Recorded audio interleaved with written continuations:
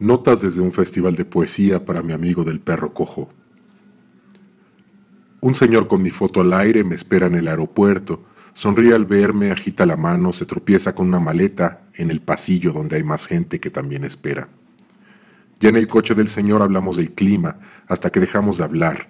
Entonces el señor me explica que habrá muchos poetas de muchos lugares, lo cual siempre enriquece a los ciudadanos de este país o de cualquier otro pues los poetas leen sus poemas en sus idiomas y los ciudadanos oyen los idiomas, después visualizan lo que dicen esas palabras, hasta que entenderlas parece.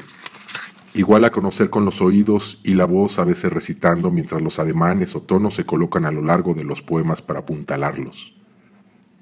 Yo en mi asiento junto al Señor imagino a los poetas llegando de sus países, sé que falta aún el africano que canta. El señor me deja en el hotel, mi cuarto no es mi cuarto, hay vecinos enfrente, pronto me estarán observando. Pregunto en la recepción donde se come dos cuadras más abajo venden pollo. No hay poetas todavía, pero van apareciendo en la noche. Nos conocemos en la banqueta. Yo les pregunto por sus países y sus idiomas. En coches nos llevan a un bar con música. Se celebra la existencia mundial de la poesía. Cuánto la aprecia el pueblo. Cómo debemos educarlo. Los vasos chocan. Fumo en la salida con un nativo.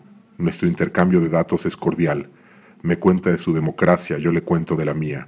Falta aún el africano que canta.